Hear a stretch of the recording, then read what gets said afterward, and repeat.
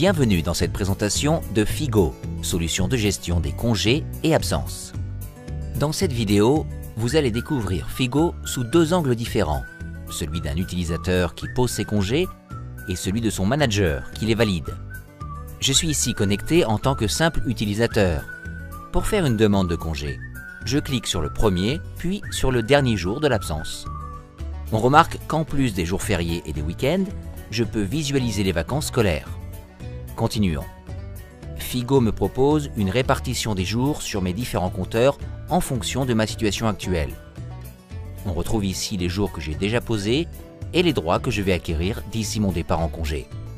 Je peux modifier la répartition proposée par journée ou par demi-journée. J'accepte cette répartition.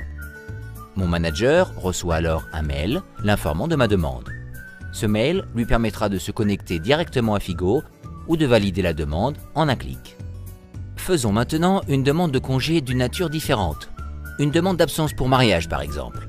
Je choisis le compte d'absence correspondant, je confirme et Figo me félicite pour mon mariage et me rappelle que je dois apporter un justificatif au service RH. Remarquez que les compteurs se mettent à jour automatiquement. Pour valider les demandes, je vais maintenant me connecter en tant que manager. Comme tout autre collaborateur, Figo me permet de faire mes demandes de congé. Pour retrouver les demandes de congé des collaborateurs que je supervise, je clique sur l'onglet Validation. Cette interface me permet d'accepter, de refuser ou de demander des précisions pour chacune des demandes.